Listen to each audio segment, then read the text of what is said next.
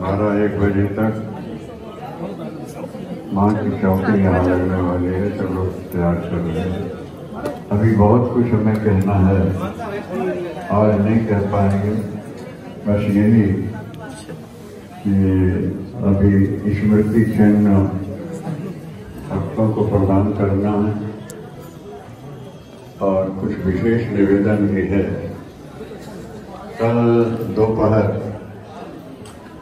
दो से चार के बीच में आप लोगों को यहाँ पहुँचना ज़रूरी है और मंदिर के बारे, प्रतिष्ठा के बारे बहुत कुछ कहना।